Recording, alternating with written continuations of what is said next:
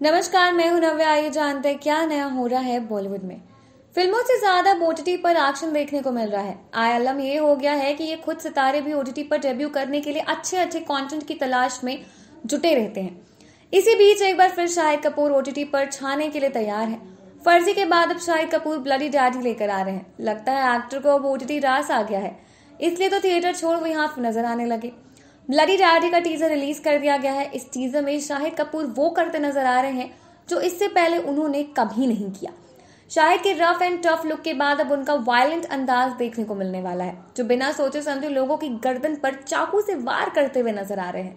हालाँकि इस टीजर में उनका लुक एक जेंटलमैन का है। कोट पैड पहनकर खून करने का शाहिद का ये अंदाज काफ़ी किलर है। इस फ़िल्म में शाहिद के अलावा संजय कपूर भी नेगेटिव रोल में नज़र आने वाले हैं। शायद की इस फ़िल्म को जियो सिनेमा और जियो स्टूडियो बना रहा है। हाल ही में जियो स्टूडियो ने अपनी हंड्रेड फ़िल्मों का ऐलान किया था। इसमें से एक ब्लरी डैडी भी है। इस फ़िल्म का डायरेक्शन अली अब्बास ज़फ़र कर रहे हैं। अभी तक आपने शायद की इस फ़िल्म का टीजर देखा या नहीं, कमेंट में ज़रूर बताएँ। आज के लिए बस इतना ही, धन्यवाद।